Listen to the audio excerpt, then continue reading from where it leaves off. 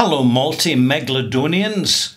Ralfy here, and thank you to Terror Tower for the malt mention. Welcome, one and all, to Ralfy Review 711 Extras, which unusually is being recorded before and not after Whisky Review, Ralfy Review 711 which is going to be this 30 year old Brora. Now, the reason I'm recording the extra review, part of the review, first is really to kind of introduce this bottle, this rather good single malt whiskey, well, very good single malt whiskey, and kind of really kind of lead up to why I'm opening the bottle, what I'm expecting, and, and, and importantly, the psychological considerations that we tend to overlook.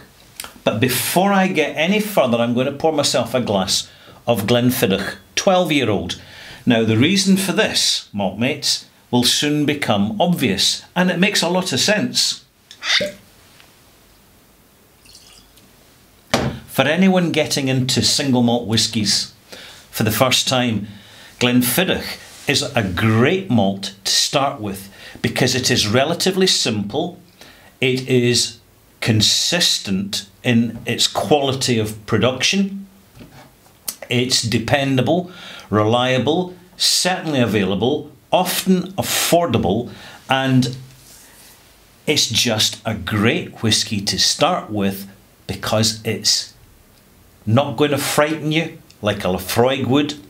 It won't alarm you like a Springbank would.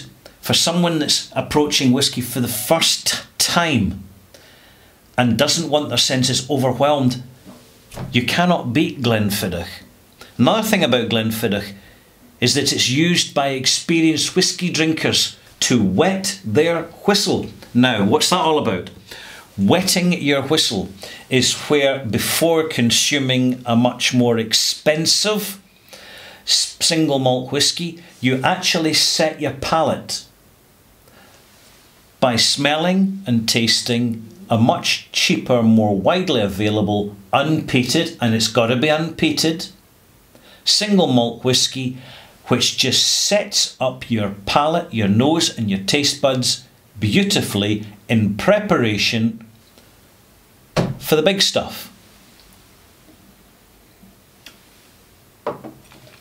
Hmm, I will be re-reviewing this single malt, excuse me, shortly.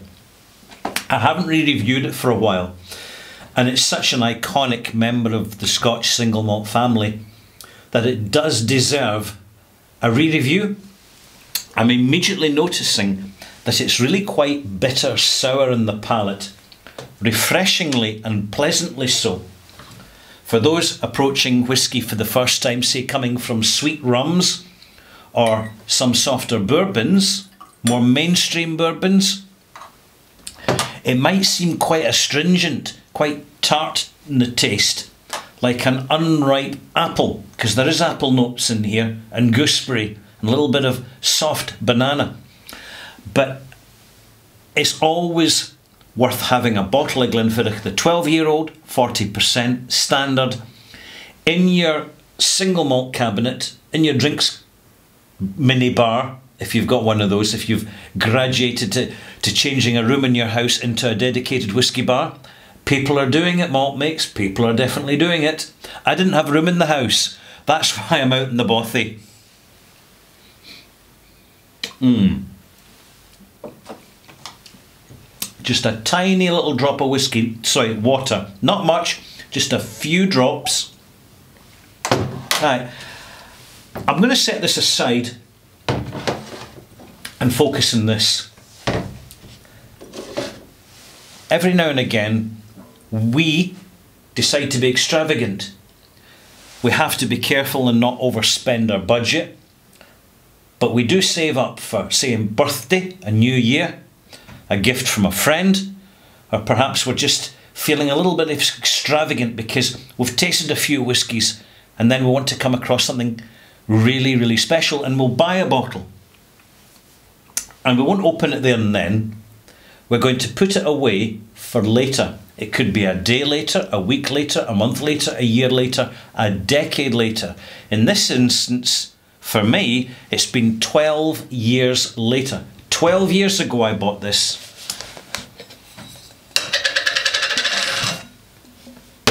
At the time, I was listening to the buzz online, yeah. There was a sort of internet back in those days. And there was a buzz in the Whisky Club because, of course, many members of the Whisky Club that I was a member of, Glasgow's Whisky Club, worked in the off, off license trade. They worked with drinks, alcohol. So they knew what was what, and it was great to know these guys because if they were getting bottles like this in that weren't going to be around for very long, they'd give you a shout out, you'd nip down to the shop, and you could buy a bottle if you could afford it. Now, interestingly, just to introduce this, by the way, this is the whisky I've just reviewed in Ralfy Review 711. 30 year old Brora, a Northeast Highland single malt whisky, which enjoys now, didn't then, but enjoys now, a rather cult status, which it does and doesn't deserve. More about that later bottled at 56.3%, which tells the experienced maltster that this is the fourth edition of the 30 year old, bottled and presented to the public, you and I, in 2005. Now, when I was at that point, I was putting baggage labels when I was buying a bottle of whiskey and putting it aside because it was part of the ceremony, part of the the malt moment. And I would staple the receipt onto the card. The card says, bought in July 2006 for £155 and 26 pence. Now that in 2006 was quite a lot of money to me because I was still paying off my mortgage and uh, such like. But uh, I bought it from Oddbins, which is a still in existence, but a very different off sales now from what it used to be. And uh, this was bought in Sauchiehall Street in Glasgow. 241 Sauchiehall Street. This is the benefit of keeping receipts, malt mates. They can take you back to the place and time where you made the purchase and you can think back to it and it becomes part of your part of your malt moment. More malt moments. Um, £155.26 was paid for in cash. And, um, and, and there we have it. And I was this was bought because it's got it in the receipt on the 2nd of July. There you are, middle of summer. I'd previously tasted this uh, whiskey tasting at the, that moment, you know, that moment in time, that age in which whiskies like this were still being presented at standard high street whiskey tastings, not now. Um, and I was aware of there was not a lot of Brora around. The independent bottlers had some, and I had tasted some independent bottlings of Brora. But it's quite chameleon. I've always found it quite chameleon. It tends to be the official bottlings, whether the rare malt selection or these bottlings coming from Diageo, the, the owners of, of Brora and Clynelish Distillery that were routinely the best versions. And in the independent bottlers, you'd get very different flavoured Broras. In fact, so much so you're wondering if it is Brora, but of course it is Brora. But Brora is that chameleon malt, which really gets its iconic status when it has a slight peat influence in it, which seems to work really well with the East Northeast Highland character. And it really complicates or complifies, I made that word up, complifies the calibre of maturation. Again, Brora is one of these rich, dense new make spirits. Well, it was then. We'll see how it goes in the future, but more about that later.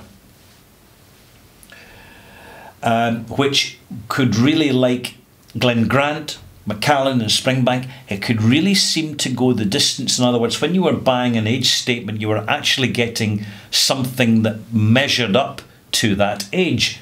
Now, you notice, by the way, I mean, I've been storing this bottle reasonably carefully. I've not opened it, it's not been disturbed, it's been in its container. The neck fill's going down. And by the way, you can store whiskey in the best of conditions. You really have to keep an eye on it because as soon as that whiskey goes lower than the neck of the bottle, it is starting to devalue as a collector's item. Also worth noting is that for a 30 year old whiskey, it's 56.3%. Now, as you can see, the Angels didn't get much share of this barrel of these barrels of Brora.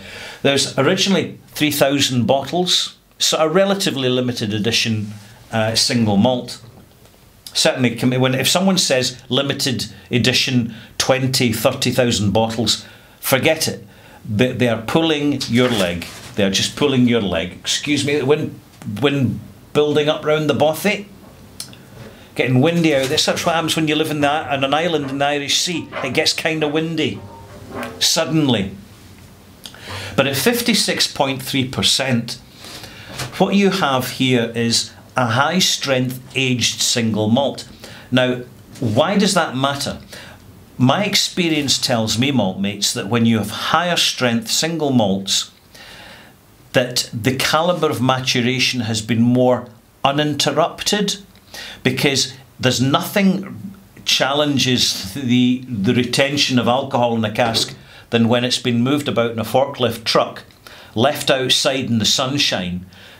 The, the casks are being opened, checked. Someone forgets, forgets to put the, the bung back in the cask for a, a few hours or a few days or whatever all that causes evaporation. Also, what causes evaporation through the cask is thin wood or broad fibred wood, fast growing wood. So, when you have some of these old fashioned casks that are really heavyweight, I mean, they look physically robust, you're no, no longer talking about one inch or two 25 millimeter staves. You're talking staves that are about a third thicker and also in conjunction with the fact that the wood can be a tighter grain that's been used, higher altitude oak, European oak, more traditional old school sherry butts, sherry hogsheads, that style of wood. Basically, there's less opportunity for the alcohol to evaporate out the cask over time and reduce the strength of the alcohol. If a, a cask is being matured at relative sea level, where there's not much fluctuation in temperature or barometric air pressure, you also find that stabilizing factor helps keep the percentage of alcohol in the liquor quite high over a prolonged period of time. It all adds up. There's all these factors pulling in together and, and creating the, the sum of their parts, which means that if you have a rested cask undisturbed over long periods in traditional warehouses, the caliber of maturation is going to be better, not by a huge margin, but just enough, malt mates, to take a, an old whiskey from being good to being great, because there's not a lot in it at the end of the day. Something else about this bottle is I'm an experienced old hack now. I've been around the distillery block quite a few years and I'm not so impressed with reputations as I used to be. In other words, I know about Brora's reputation. I know about its desirability. I know that Diageo, the owners, they know a good thing when they see it. Of course they do. They're running a business, a commercial business, and that's what it's all about at the end of the day. They're going to reopen Brora and they're going to reopen Port Ellen. What do I think about that? I'll tell you what I think. Good luck to them. Good luck to them. If they can, uh, you know, can name it what they want, if they can produce good whiskey, quality whiskey, unchill filtered, naturally coloured, with an age statement, and character and personality.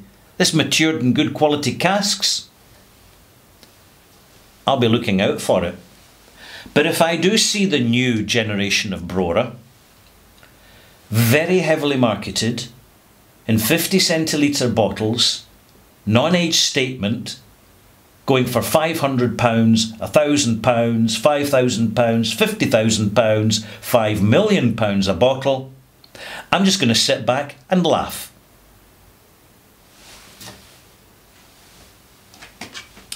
Some more Glenfiddich. At the end of recording this, this extras, I'm going to be recording the, the review proper, at which point I'll be opening the bottle. I'm really looking forward to it, but I'm not going to get my expectations up too high, and I'll tell you why. Because smell and taste are chemical receptor experience. They are chemoreceptors, the smell and taste. Eyesight is radiation. Ear listening is audio, it's via physical vibrations.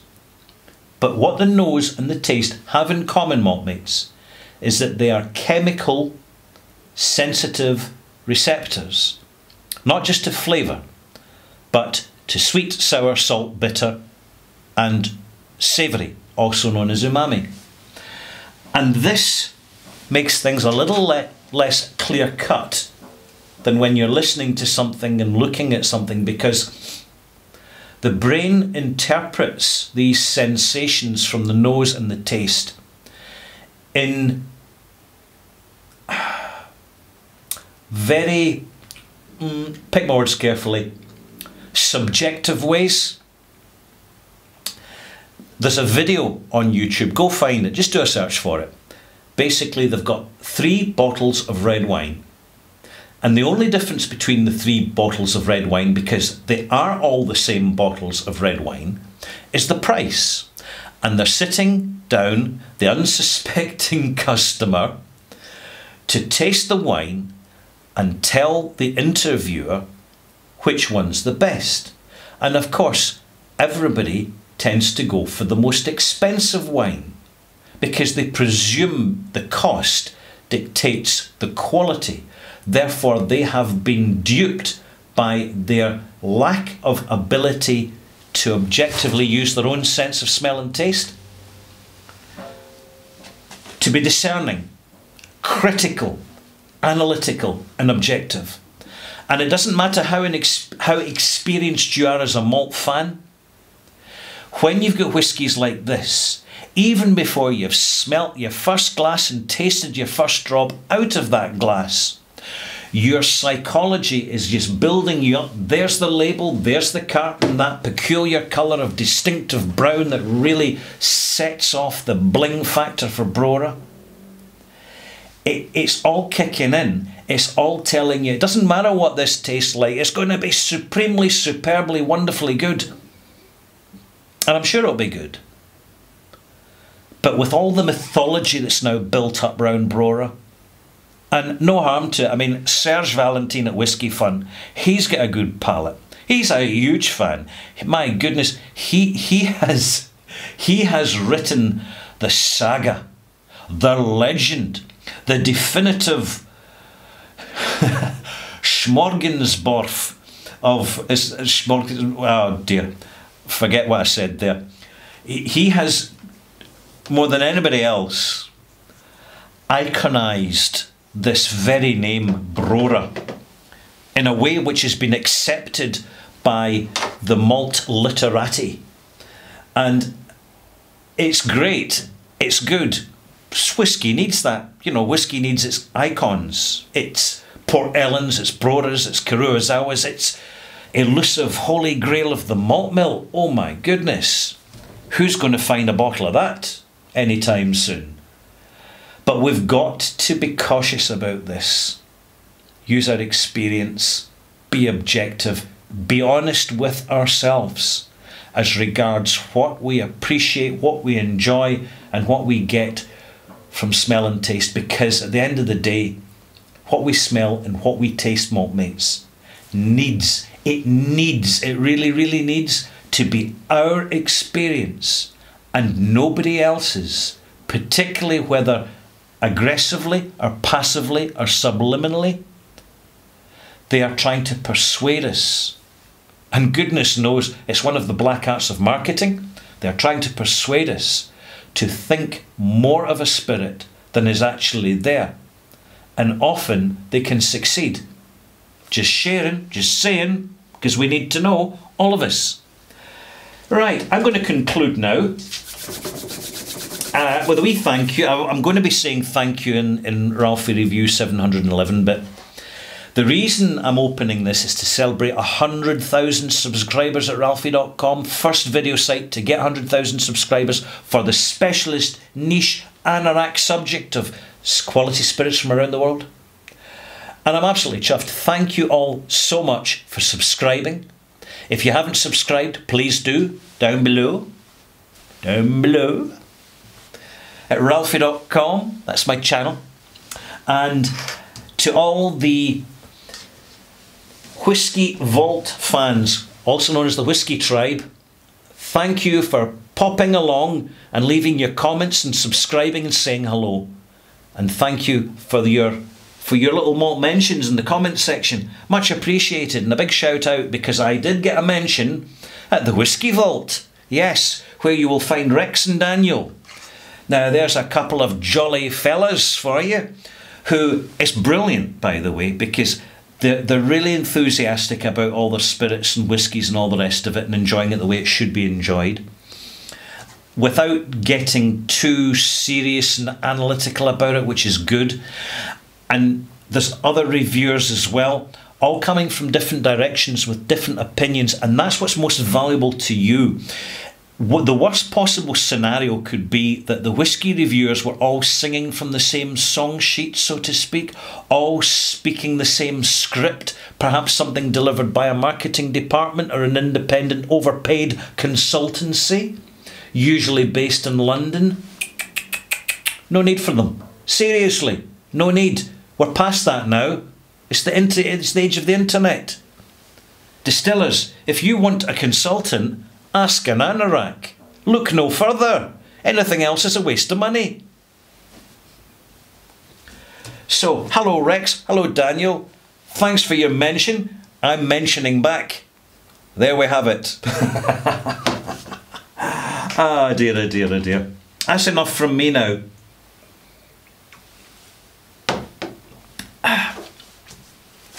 Extras has concluded. I'm Ralfy, over and out.